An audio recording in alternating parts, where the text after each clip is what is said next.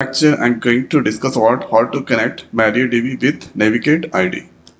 So first here I'm going to open the Navicat ID and uh,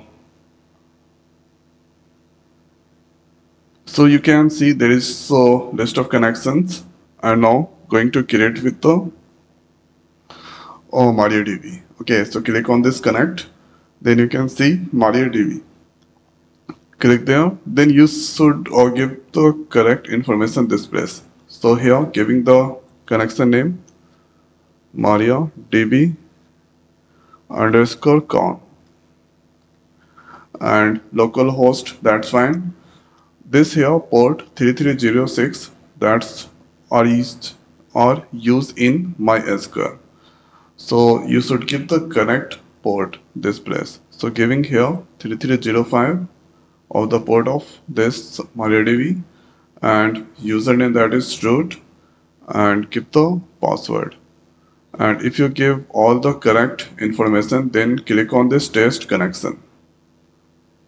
And okay and thereafter click on this okay.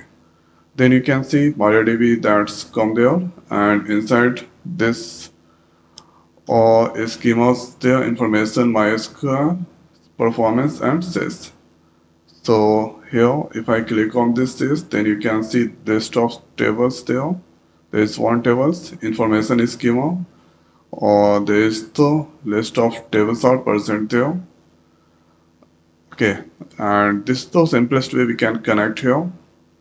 MariaDB with Navicat ID okay.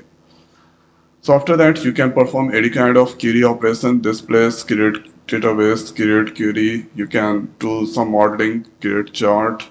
Thereafter use the function create the function delete the connection. Many operations you can do on uh, MariaDB. So here MariaDB con is there, right click, then you can edit connection, delete connection, create the new database. Or this place you can perform insert there. So I hope guys this video is helpful for you. So now in this video it's over. So thanks for watching. See you next week. Thank you.